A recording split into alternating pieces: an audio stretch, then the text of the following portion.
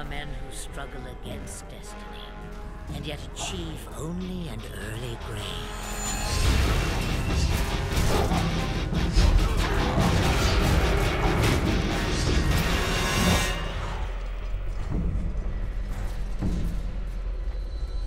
There are men who flee destiny, only to have it swallow them whole.